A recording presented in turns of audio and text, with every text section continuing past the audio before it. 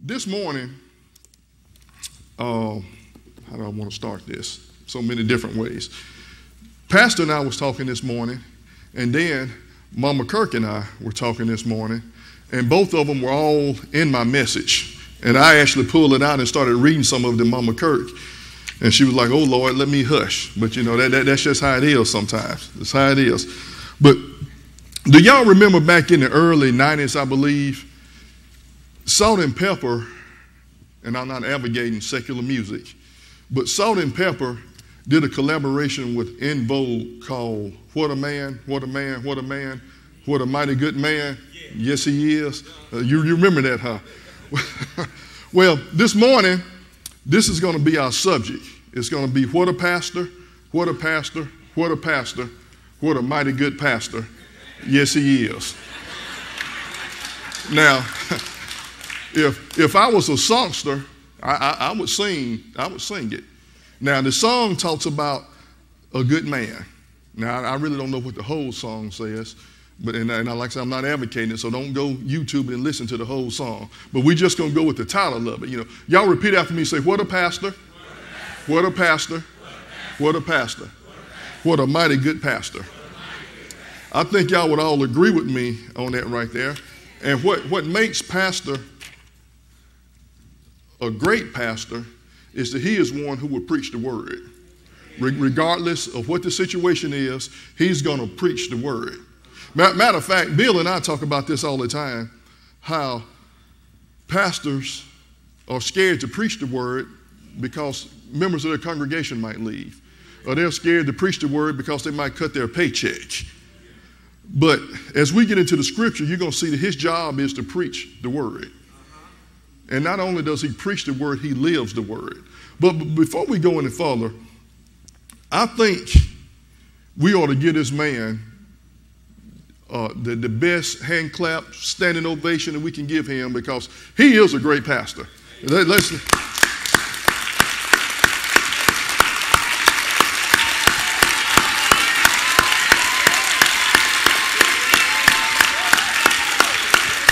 And, and, and not only for him, but for his wife also. I, I, she's a great first lady.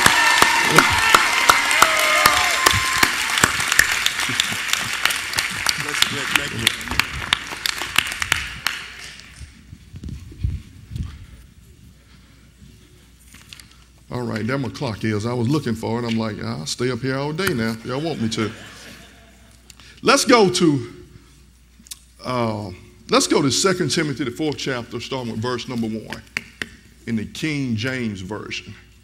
2 Timothy 4, starting with verse number one. And it says, this is, this is Paul talking to Timothy. And, and my main thing that I'm going to do here this morning is encourage Pastor in the same way that Paul was encouraging Timothy. This was at the end of, of, of Paul was getting ready to die. He was, he, he was, this was at the end of his life. And he was writing this, he was basically passing a torch also. Now, I'm not passing a torch to pastor, but I am going to encourage him because pastors need encouraging too. They, they preach so much and they teach so much and they're so busy, but pastors need to be preached to. They need to be taught and they need encouraging words also. But in this, in this verse, in this, uh, in this first verse of chapter 4, this is what it says. It says, I charge thee therefore before God and the Lord Jesus Christ, who shall judge the quick and the dead at his appearing and his kingdom. Verse 2 says, Preach the word. Repeat me, say, Preach the word. Preach the word. Preach the word. Be instant, in season, out of season. Reprove, rebuke, exhort, all long suffering and doctrine. It goes on to say in verse 3 For the time will come when they will not endure sound doctrine. Read that again. It says, For the time will come when they will not endure sound doctrine. That sounds like now. sounds like now. It goes on to say, But after their own lust shall they heat themselves, teachers having itching ears. And they shall turn away their ears from the truth and shall be turned into fables. Verse 5 says, But watch thou in all things, endure afflictions, do the work of an evangelist, make full proof of thy ministry. I'm going to read verse number two in the New Living Translation. 2 Timothy 4, verse number 2 in the New Living Translation. And it reads Preach the word of God. Be prepared whether the time is favorable or not. It goes on to say again warn those who sin, exhort and encourage those who are growing towards spiritual maturity with inexhaustible patience and faithful teaching. We live in a time now where people just don't want to hear the word.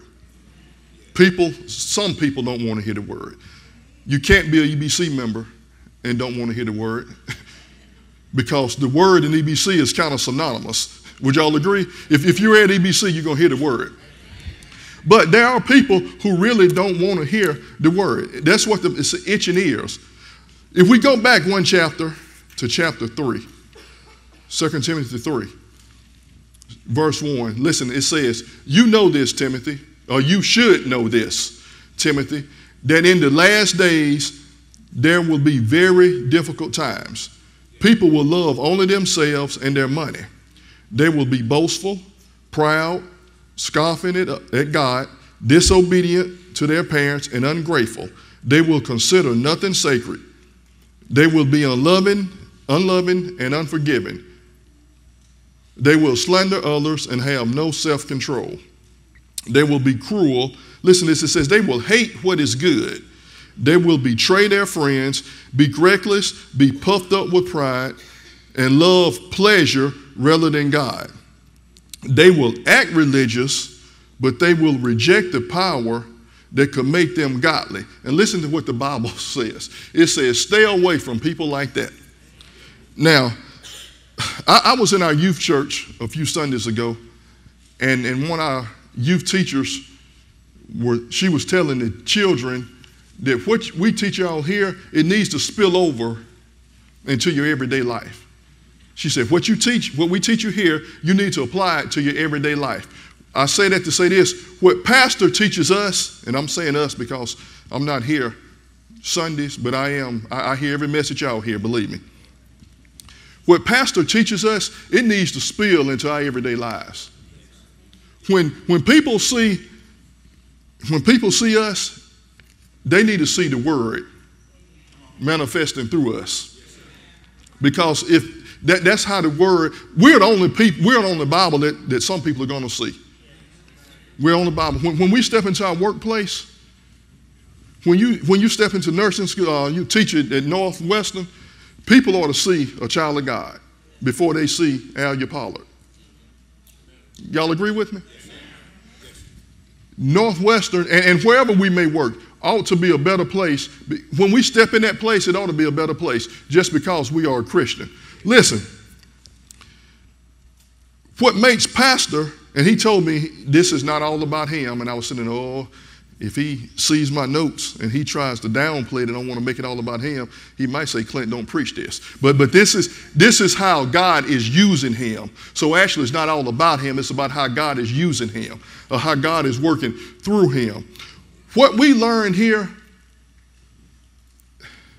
is something that shouldn't be taken for granted. Any of y'all who have been in other churches, now, other churches preach the word. This is not the only word church in the world, but there are a lot of churches where the word is not being taught. You have some people that would have been up here already and been into their hoop. And you'd be like, what are they saying? But here, the word is going to be explained. Okay, well, once the word is explained, we need to do something with the word. We, we need to do something with the word. Listen, 2 Timothy 3 16 and 17, one of my favorite scriptures in the Bible one of my favorite scriptures. It says, well, three, yeah, three and 15, yeah. Well, three and 16, that's what I'm looking for. Yeah, three and 16. It says, all scripture is inspired by God, and it is useful to teach us what is true and to make us realize what is wrong in our lives. Y'all do know we have things wrong with us in our lives. We, we I'm one. I have, as, if any well, a lot of y'all know me, I hate to be wrong probably the most thing I hate in, in my life is tardiness. I cannot stand tardiness. Uh, if it was me and I wrote the Bible, tardiness would have been a sin. and if it would have been in the Old Testament, if you'd have been late, you'd have been dead. I, I cannot stand tardiness. I don't fool with people that aren't timely. Well, I don't fool with them much. You have to fool with some people. But, but we all have something wrong. We all have something wrong in our lives. Some of us have a smart mouth, flip mouth. Some of us are not as patient, such as I. You know, and some of us just just bad. just bad. But listen, it says, this is what the word says. It says, uh, start of it says, All scripture inspired by God, and it is useful to teach us what is true and make us realize what is wrong in our lives. It corrects us when we are wrong. It teaches us to do what is right. Now listen, a good pastor, a good pastor is going to correct us when we're wrong. Now, a lot of us don't like to be corrected. Now, I just said I don't like to be wrong. So, by me not liking to be wrong, I had to learn how to be corrected. I had to learn how to be corrected. That, that's just not something that people take openly, is correction. And, and, and what I had to learn is well, if somebody's correcting me, I'm wrong about something. Well, okay. Well, well, this is what the scripture says. This is how you apply the scripture. The scripture says it teaches us when we are wrong. It, it teaches us when we're wrong. It corrects us, excuse me, corrects us when we're wrong and teaches us to do what is right. Now, this is the thing. We have all sinned. Every one of us in here have sinned. Okay. We have sinned. But when we realize we mess up, we need to correct that and then do what is right. That's the kind of teaching that we receive here. We're all going to mess up, but what, but what happens after we mess up? We need to do what is right. And what's so bad in the church is we'll mess up and we'll keep messing up. And we'll keep on and keep on and keep on, and then we'll holler, well, the Bible says God will forgive us. The Bible says we've all you know, sinned and fallen short of the glory. Y- yes, it does say that, but it's not in there for us to use as an excuse, as a crutch. That's in there because God does know that we're human and we are going to make a mistake. But I, I like to, I use this analogy a lot of times. When I don't, I don't, I know very little about little children because I don't have any. But I do know that if a one-year-old uses the bathroom on him or herself, it's okay sometimes people look at it and, oh, that's so cute. That, no, it's, it's really not, to me anyway. it's not. But I understand. But, but it's okay if, if a baby uses the bathroom on him or herself. Two, I think, yeah, probably still, or they should be in that transition. Then when they get to be four or five, well, it might happen sometime. But when they get to be 20, uh, uh, unless they have a medical problem, they, they shouldn't be messing up their underwear. Well, that's just like us. As Christians, when we're baby Christians, we're going to mess up. But the same thing that I was messing up at 10 years ago, I shouldn't be messing up on that same thing now. Churches split over crazy things. C- crazy things. Who gonna preach the anniversary? What color's anniversary going to be? Well, they sang last year. Why I can't sing this year? What difference does it make? That's an immature Christian. But that goes on in a lot of churches. But when you apply the scripture, which it says all scripture is inspired by God, when you apply the scripture to things like that, the problems will go away. Who really cared, and when I say that, any other ministers shouldn't have cared that, that Craig opened up this morning. But you have some preachers and some churches, well, I felt like I, have been here longer. I, I, should have been the one that done it. That, that's, that's immature. That, that, that's, that's very immature. But listen, not only does it say that about the scripture, but listen what it says in verse 17. It says, God uses it, it being the scripture, to prepare and equip his people to do every good work. It didn't say some good works, it says every good work.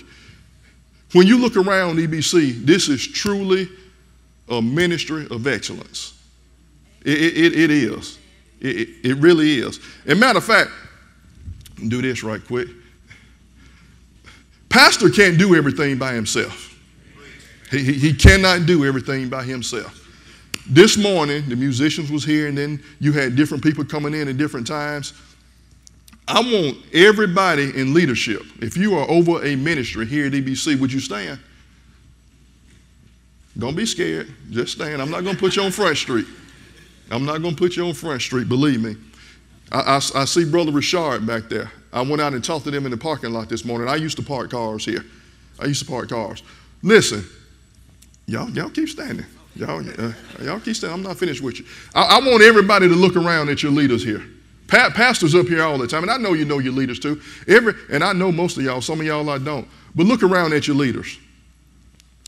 Y'all are a vital part of this ministry. Now, I, I want, yeah, we, we need to give, yeah. Now, now you can sit down. now, whether or not people realize it, y'all shoulder a big load, a big load. And it's important that, that, that we, leaders and everybody, that we apply this scripture so we can be effective. Now, is, is excellent, in, in the excellent manner that this church operates in, your ministry that you're over should operate in that same excellent ministry. Take it a step further. If you are a Christian, every part of your life should operate in excellency. When we step on our job, we should do it in an excellent manner. When we driving down the road, we should be driving in an excellent manner and not 30 miles over the speed limit. The, the, the court shouldn't be full of Christians because we should operate in an excellent manner.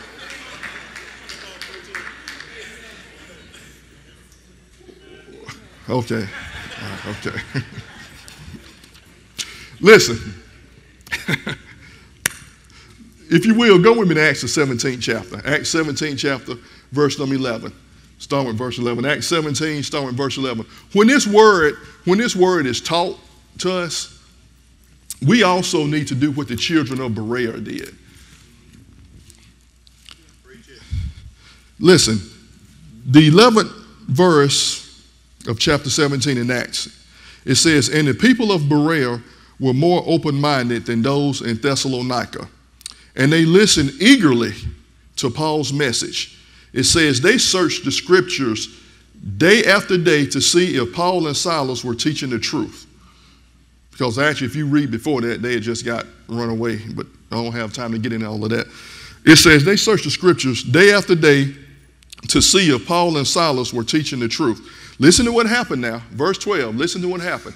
It says, as a result, many Jews believed, as did many of the prominent Greek men and women.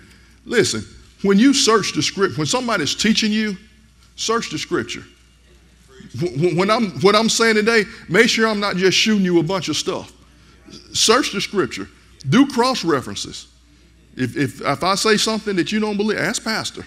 Y'all know he know the word. Ask Pastor. But you have the word in front of you because y'all have been taught, or we have been taught, bring your Bibles, take notes, look at the monitors. Listen, read this again. It says, And the people of Berea were more open minded than those in Thessalonica. They listened eagerly they listened eagerly to Paul's message. I was eager to get here this morning. Honestly, I wish I could have heard Pastor preach this morning or his wife. He, I, I would have been fine with either one. But eager, when you're eager, I can imagine, now I'm, I'm using Craig and Ari, I'm using Danny and, and Constance. Got a, yeah, got a good one for Constance. Constance and Danny came to town, well, it's been about a uh, year or so ago. They, they came to town. We were at Bill's church. And I got bamboozled.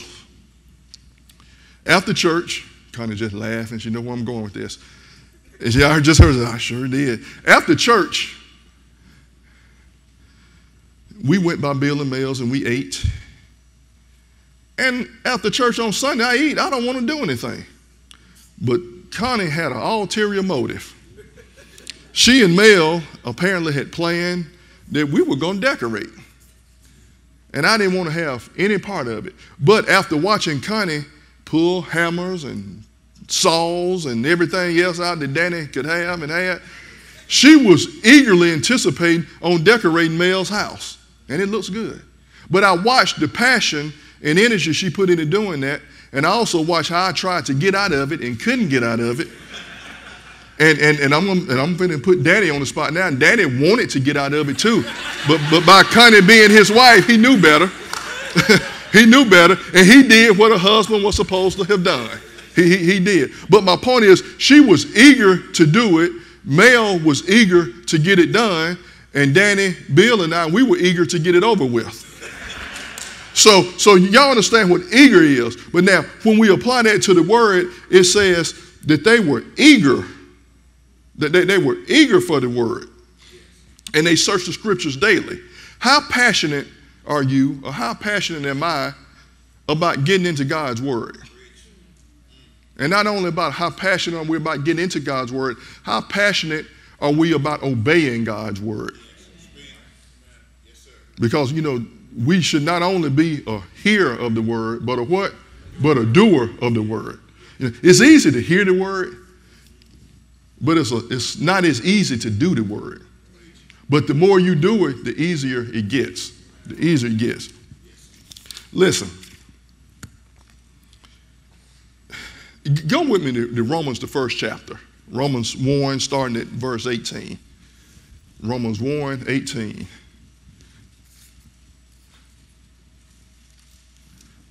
Listen. Well, I started verse 18. It says, But God shows his anger from heaven against all sinful, wicked people who suppress their truth by their wickedness. They know the truth. They know the truth about God because he has made it obvious to them. How has God made the truth obvious to us? Through Pastor Adams when he's teaching. Now, now we have to study on our own. He can't give us everything, but He teaches the truth. It says they know the truth about God because He has made it obvious to him. It really can't get any more plainer than when Pastor preaches the word. It really can't. Verse 20 For ever since the world was created, people have seen the earth and the sky. Through everything God made, they can clearly see His invisible qualities his eternal power and divine nature. So listen to this. So they have no excuse for not knowing God. 21.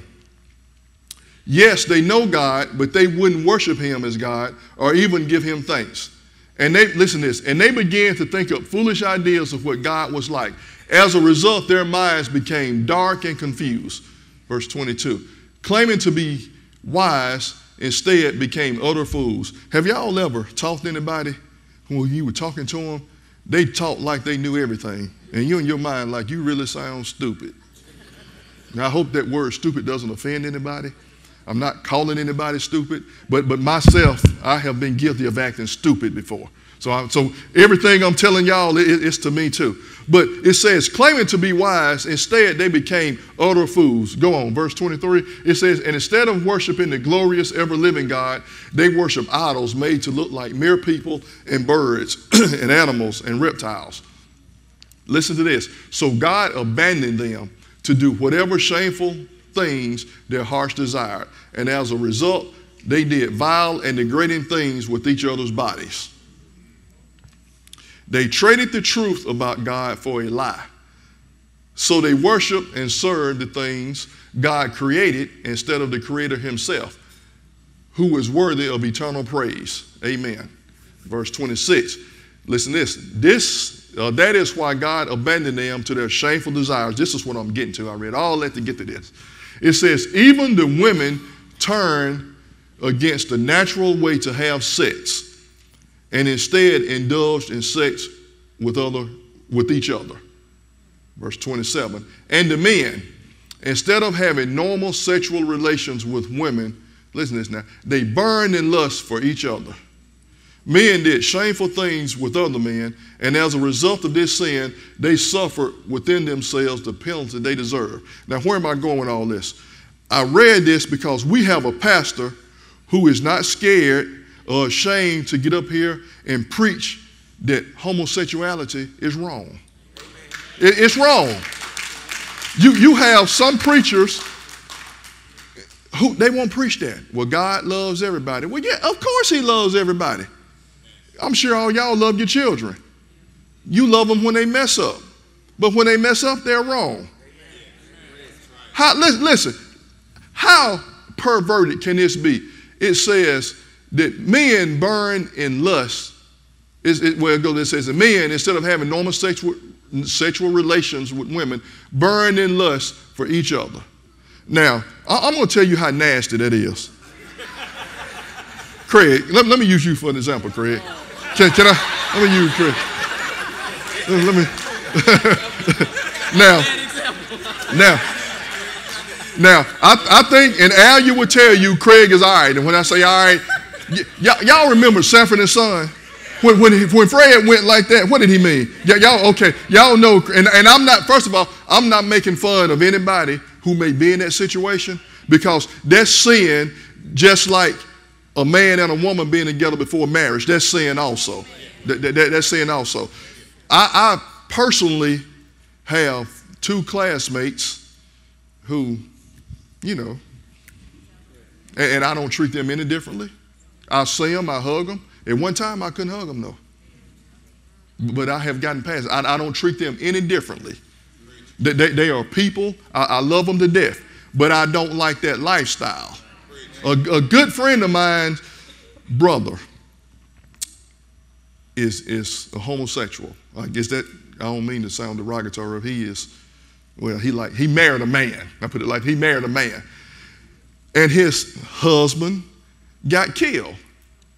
So when that happened, I called my friend and I, I said, I'm just calling because I heard that your brothers, and I, I paused, I said, buddy got killed. He said, You can say this is husband.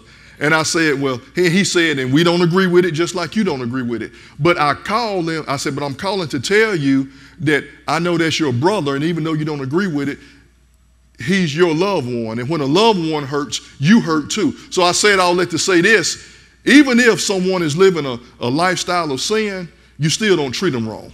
If, if they hurt, you need to be passionate and compassionate funny. But, but what I'm saying about Craig here, we're talking about men burning lust for other men. Okay, now, I'm sure, I'm, I'm pretty sure that Alia, I'm pretty sure that Alia thinks Craig is all this. And, and to her, he should be. But for me to burn in lust for him, that's nasty, y'all. That, that, that's nasty. Uh, that, and, and for him to burn in lust, that, that's nasty. That, that shouldn't be. That, that, that shouldn't be. And, and we have to preach that in the church. Oh, you sit down. Go ahead. He said want to sit down. yeah. He, now, they are married. They need to burn. He, look, he hugging her.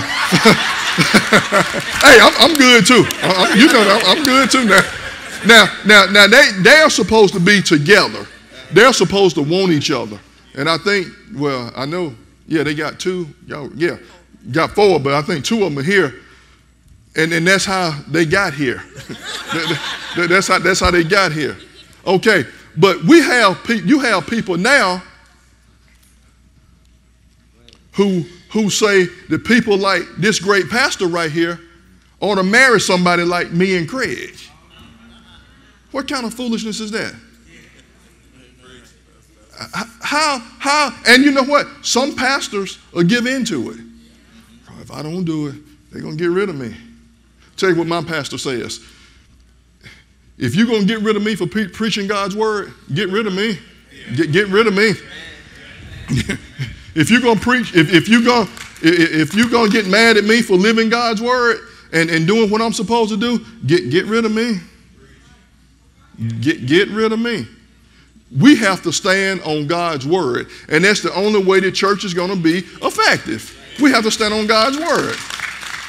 Listen, even, even in, the, in the elections and in the polls and our, our presidents,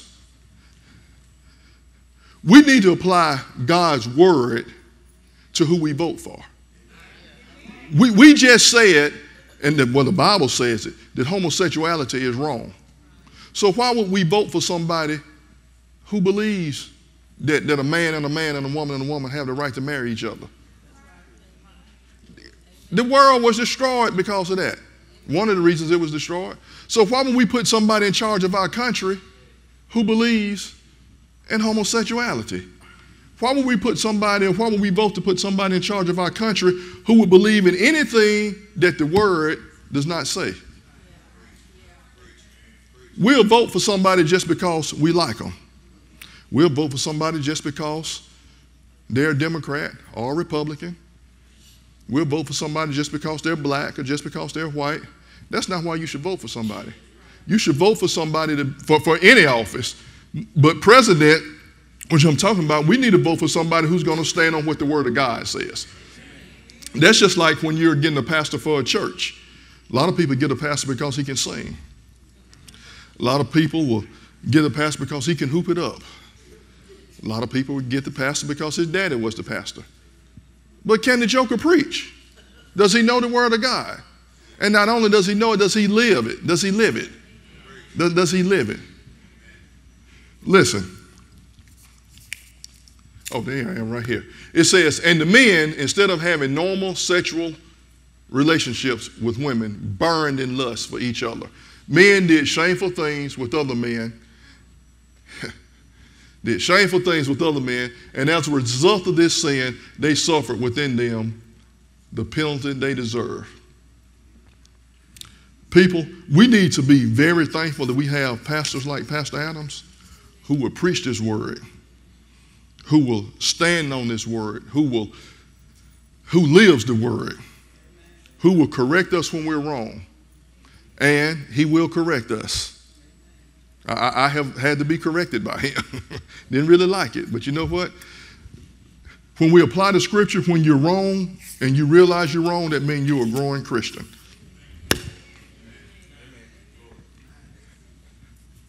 One more thing.